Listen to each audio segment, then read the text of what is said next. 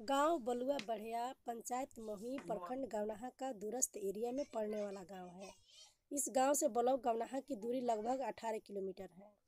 इसी गाँव के मुस्मात कलावती देवी सभी साक्ष्य और प्रमाण के साथ आवेदन फॉर्म भरकर दिनांक 9 जनवरी 2017 को विधवा पेंशन के लिए आवेदन की थी, जिसका रिसीविंग भी इनके पास है, पर पेंशन का लाभ नहीं मिला।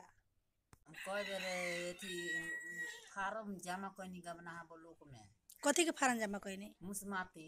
हम्म त का भइल तो नाम मिलल एक बेर रिविजन मिलल बा तो हमार पैसा नहीं आवत कितना दिन हो गए दू तीन तीन चार दू तीन साल होइए गइल बा। इसी गाँव के राम प्रवेश महतो गणेश शर्मा ललन शाह ने सन 2016 में इंदिरा गांधी वृद्धजन पेंशन के लिए आवेदन किए थे पर कोई लाभ आज तक नहीं मिला।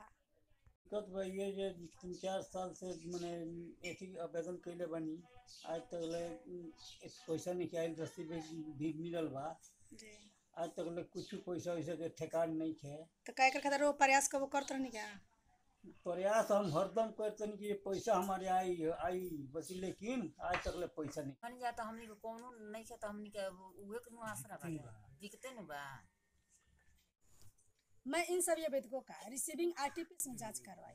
कार्यपालक सहायक ने बताया कि इन सभी आवेदकों का बीपीएल सूची की वजह से आवेदन रिजेक्ट हो गया है।